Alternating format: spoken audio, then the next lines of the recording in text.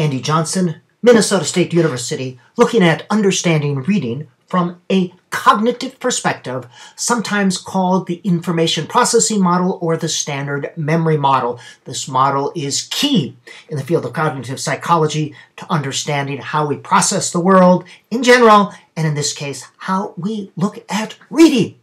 Perception, sense registry, sense memory, the first part of it. First of all, stimuli.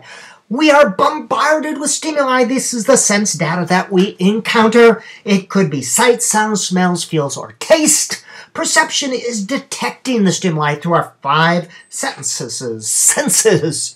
We are bombarded with billions of stimuli every day. We cannot attend to all of it or we would go crazy. So we have to make choices. And that's what attention is. It's the choices we make about which perceived stimuli are attended to. And sense memory, sometimes called sense register. This is where the original sense data are registered. This has an unlimited capacity to, to perceive data.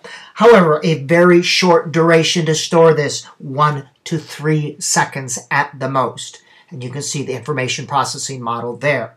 The second part is short-term memory. A little bit different than working memory. Short-term memory essentially is a holding pen for data, sense data and other data. It has a limit capacity, plus or minus two. That means we can hold about seven bits of information. Some people can hold five, some people can hold nine, that's the plus or minus, for about 15 seconds. So a smaller duration, smaller capacity. Working memory, a little bit different. In, this is like a workbench. The information is held in short-term memory as you do something with that data. So it's a subset of short-term memory, technically. All right? Now, chunking is something that we do. We put small bits of information into larger, more meaningful wholes. Why is that? I will show you. Here are eight letters. Go ahead and try to memorize them. Well, don't actually. It becomes a little easier. 1976, 2014, and it becomes even more easy. That's an example of chunking, putting things into meaningful wholes. As far as reading, we could hold seven letters or seven ideas. I'd rather hold seven ideas.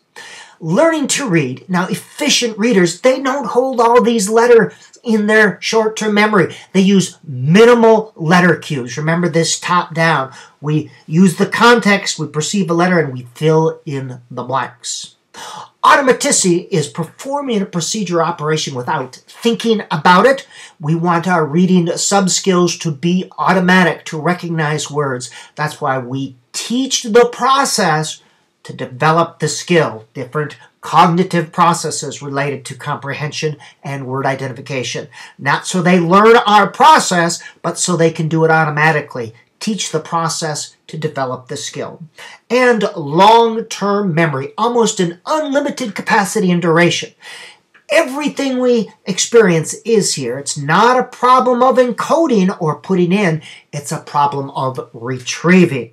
And of course, if we visit that space in long-term memory often enough, that, that pathway becomes very deep and wide and we can retrieve things easily. And there is a two-way flow of information. Information flows from sense memory to short-term memory to long-term memory and back again, up and down.